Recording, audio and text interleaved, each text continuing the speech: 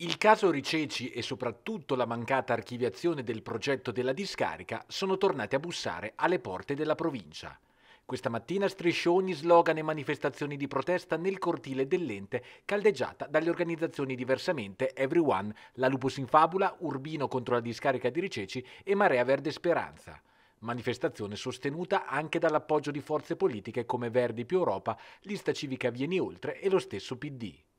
Il presidente della provincia Polini ha ricevuto i comitati in un'ora e mezzo di confronto indirizzato a condividere le strategie che portino ad un no tombale inattaccabile verso il progetto di discarica nel comune di Petriano senza ulteriori cavilli procedurali. È stato un incontro utile e sicuramente abbiamo percepito da parte del Presidente una volontà a chiudere eh, positivamente il problema della discarica, però sicuramente secondo noi manca innanzitutto questa, questa, proroga che è stata concessa allunga ancora i tempi eh, e sicuramente pensiamo che nella prossima conferenza istruttoria non, non ha la provincia materiale sufficiente per poter eh, presentare nuove motivazioni per cui la discarica non va aperta, conseguenza eh, siamo ancora molto preoccupati, cioè, sinceramente dobbiamo dire siamo contenti di essere stati ricevuti, cioè si è aperto un dialogo fra società civile e istituzioni ed è molto buono, non c'è ostilità, però siamo estremamente preoccupati perché sembra che questo progetto non,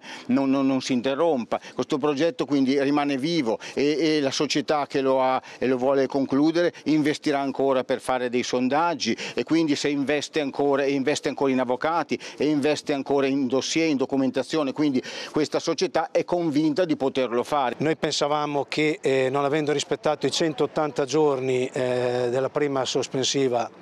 venisse archiviato, abbiamo presentato un'istanza di archiviazione con diffida, la linea scelta dalla provincia è diversa all'interno del procedimento, hanno concesso un'ulteriore proroga, anche se tecnicamente non è una proroga, andrà a finire quindi al 16 luglio del 2024, rimane vivo il rischio di una discarica a Riceci, ma soprattutto, cosa che noi diciamo da molto tempo, non volevamo che questo avvenisse per una ragione semplice, non volevamo bypassare il periodo elettorale, della campagna elettorale, perché è un momento nel quale i politici devono rispondere direttamente ai cittadini. Noi continuiamo a dire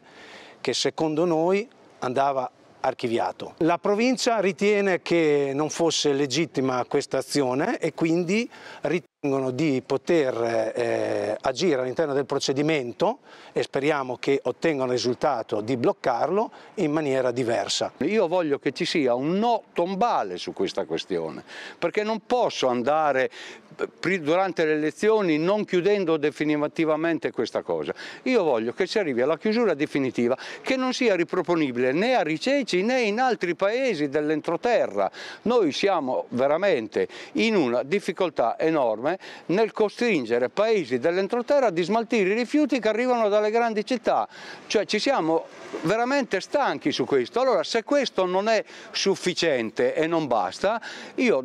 io l'ho detto, io sono disposto a scendere anch'io alle manifestazioni e queste robe qua. Però il discorso è che noi abbiamo un, una, uno, uno, studio legale qui, un, dei dirigenti che stanno studiando proprio tecnicamente come si possa mettere veramente una, eh, un no definitivo e tombale, tombale su questa questione. Se poi dopo qualcuno lo vuole sfruttare per le politiche, per le elezioni politiche, queste robe qua, fanno tutti quello che fanno, hanno come voglio, che a me non me ne frega niente, perché a me delle elezioni politiche, chi vinca o chi perda, mi interessa relativamente, a me mi interessa la gente che anche dopo le elezioni politiche rimane lì a Riceci, che viva Riceci, sono queste che mi interessano. Da adesso in poi noi gli incontri che faremo saranno aperti anche loro, in, eh, magari con collegamenti online o in presenza, saranno aperti anche loro, cioè la massima trasparenza, è quello che io voglio.